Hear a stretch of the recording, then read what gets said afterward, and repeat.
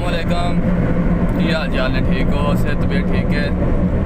ਲਓ ਜੀ, ਅੱਜ ਤੁਹਾਨੂੰ ਨਾ ਥੋੜੀ ਦੇਰ ਤੱਕ ਗੁਜਰਾਤ ਵਹਾਨੇ ਆ ਗੁਜਰਾਤ ਦੇ ਨਜ਼ਾਰੇ ਵਹਾਨੇ ਆ ਮੁਲਤਾਨ ਗਏ ਤਾਂ ਉੱਥੋਂ ਵਾਪਸ ਆਏ ਆ ਤੇ ਆ ਹੁਣ ਗੁਜਰਾਤ ਦੇ ਨਹਾਉਣ ਲੱਗੇ ਆ ਤੇ ਅੱਲਾ ਯਾਰ ਕੀਤੀ। ਤੁਹਾਨੂੰ ਆਪਣਾ ਸ਼ਹਿਰ ਵਹਾਨੇ ਆ ਜੀ, ਆਪਣਾ ਸ਼ਹਿਰ ਗੁਜਰਾਤ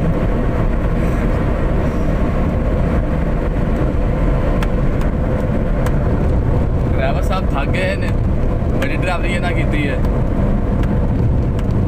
8 ਘੰਟੇ ਕੱਲ 7 ਘੰਟੇ ਅੱਜ। ਇੱਕ ਘੰਟਾ ਰਹਿ ਗਿਆ। ਅੱਲਾ ਹੈ ਕੀਤੀ ਇੱਕ ਘੰਟੇ ਤੱਕ ਅਸਾਂ ਆਪਣੇ ਪਿੰਡ, ਆਪਣੇ ਘਰ ਤੋਂ ਜਾਣਾ।